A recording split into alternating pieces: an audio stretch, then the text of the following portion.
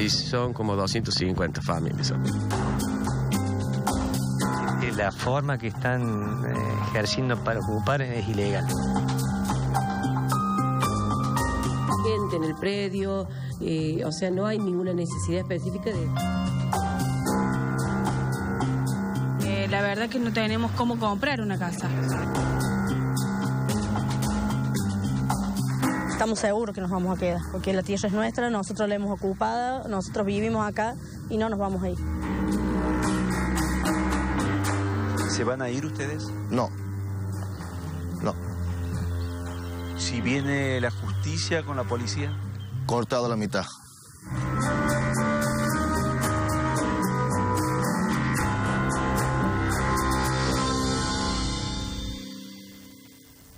Aquí tenemos la ropa que uno lava, tendera. Este es el baño. Como usted verá, esta es nuestra letrina. Así vivimos nosotros. Día a día, con aguacero, mojándonos, pero así, así, las, así seguimos para adelante nosotros. Algunas familias viven en condiciones tan precarias que parecen infrahumanas. El techo tiene algunos palos cruzados y Así- tarimas. Así es, tarima, para poder sostener la lona. ¿De dónde son, Wilfredo? Nosotros somos de Perú. ¿Cuándo llegaron a Argentina? Hace tres años acá. ¿Y aquí a este lugar? Un año. Ni siquiera ahí tiene nada, estás con, con lona. Ay, sí, está Con palo lona, que me da más, miedo que se me vaya a caer. así.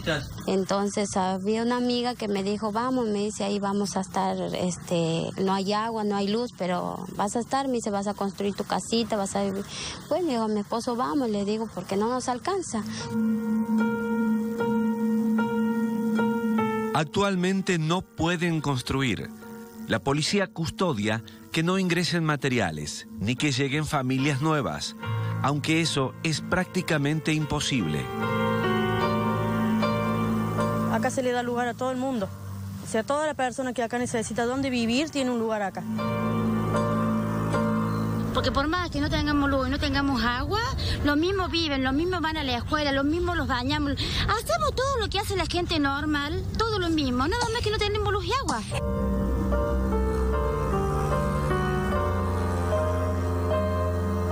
Es una lucha, eh, la persona que vive acá es, es para lucharla, sin agua, sin luz. En primer lugar, que no son vecinos de Estación Juárez Selman, que vienen de otras localidades y hasta de países limítrofes. O sea, en este momento no tenemos gente que sea de nuestra ciudad. El barrio es un barrio comunitario, vive toda clase de gente. Y vivimos argentinos también, no es un barrio donde se evitó solamente por peruanos. Eso es una total mentira lo que están diciendo. Yo, Nero, abrí. Claudio.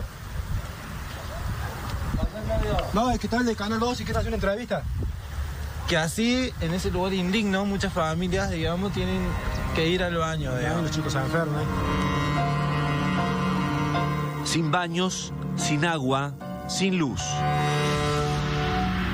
Porque si nosotros tuviéramos plata y tuviéramos, no tuviéramos por qué pasar esta necesidad. Tuviéramos en un country o estuviéramos en un lugar mejor que esto.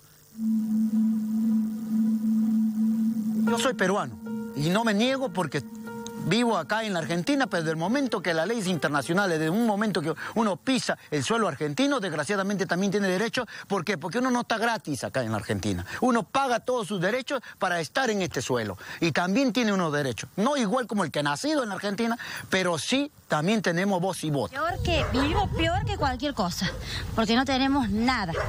Nada y vivimos con los niños acá, sufriendo, el ir a buscar el agua. Todos los días es un sacrificio para nosotros.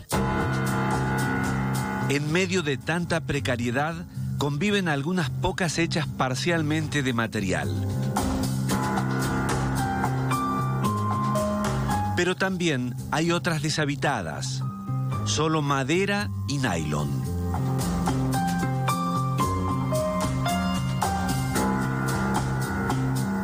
Tenemos el certificado que nos garantiza por, un decreto 358 de la Nación eh, que podemos tener la luz. Son, fuimos censados mediante el relevamiento nacional y por lo tanto también exigimos esto.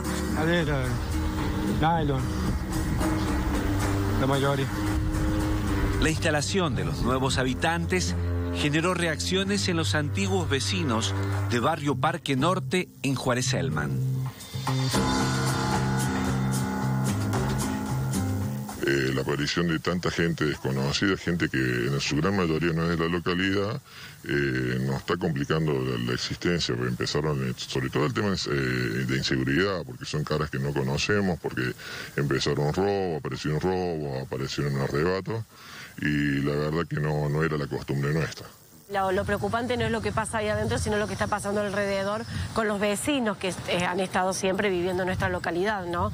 Que están padeciendo esta este manoseo que está teniendo la justicia para con nosotros y con la inseguridad, con no saber qué va a pasar, con lo que le ha perdido valor su vivienda en el lugar.